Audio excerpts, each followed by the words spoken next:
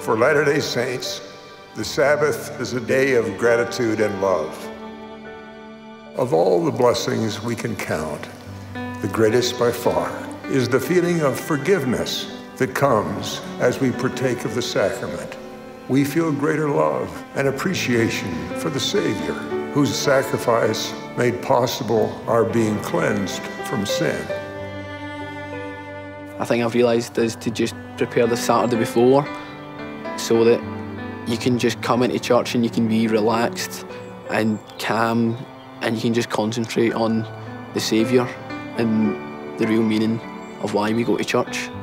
Especially when you're preparing, blessing and passing the sacrament, you need to be setting the example to others of what it should be like. As we partake of the bread and water, remember that he suffered for us. And when we feel gratitude for what he has done for us, we feel his love for us and our love for him.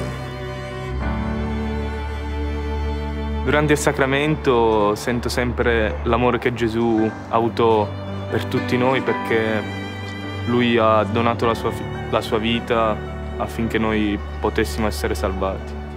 He gave us this gift to really recommit ourselves to do better and to have an opportunity to feel again His love for us.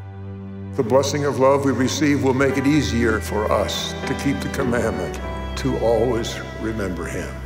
You may even feel love and gratitude as I do for the Holy Ghost, who Heavenly Father has promised will always be with us as we remain faithful to the covenants we have made.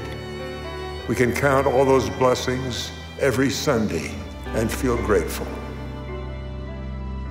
We show gratitude on the Sabbath day when we understand what Jesus Christ did for us because uh, during the Sabbath day, more than any other day, we uh, ponder about the atonement of Jesus Christ. We go to church, we share our testimony, we partake of the sacrament.